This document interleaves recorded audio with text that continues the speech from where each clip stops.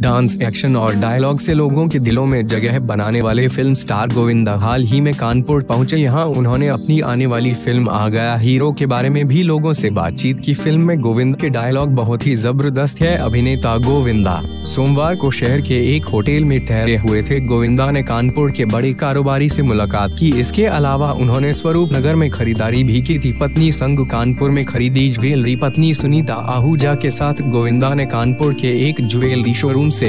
खरीदारी की इसके बाद कानपुर में ही अपने एक दोस्त के घर मिलने पहुँचे। कानपुर से गोविंदा का पुराना नाता रहा है। इससे पहले भी कई बार वे कानपुर आ चुके हैं। गोविंदा करीब तीन साल बाद बड़े पर्दे पर अपनी वापसी, अपनी नई फ़िल्म आ गया। हीरो के साथ कर रहे हैं फ़िल्म का ट्रेलर यूट्यूब मल्टीप्लेक्स और टीवी चैनलों पर लॉन्च हो चुका है। फ़िल्म आ गया। हीरो की ये हैं कुछ खास बातें। गोविंदा की नई फ़िल्म आ गया। हीरो इस साल 24 फरवरी को रिलीज़ हो रही है। फ़िल्म की कहानी खुद गोविंदा ने लिखी है। इसके अलावा फ़िल्म को प्रोड्यूस भी खुद ही कर रहे हैं। आ गया हीरो को डायरेक्ट किया है। दीपांकर सेनापति ने कास्टिंग की बात की जाए तो फ़िल्म में गोविंद लीड रोड में है। उनके अलावा आशुतोष राणा, रुली शर्मा, मकरंद देश पांडे, चंद्रचूर्ण सिंह, हरीश कुमार, रीचा शर्मा, जूही खान है। फ़िल्म का संगीत समीर ने दिया है। फ़िल्म का बजट 28 करोड़ है।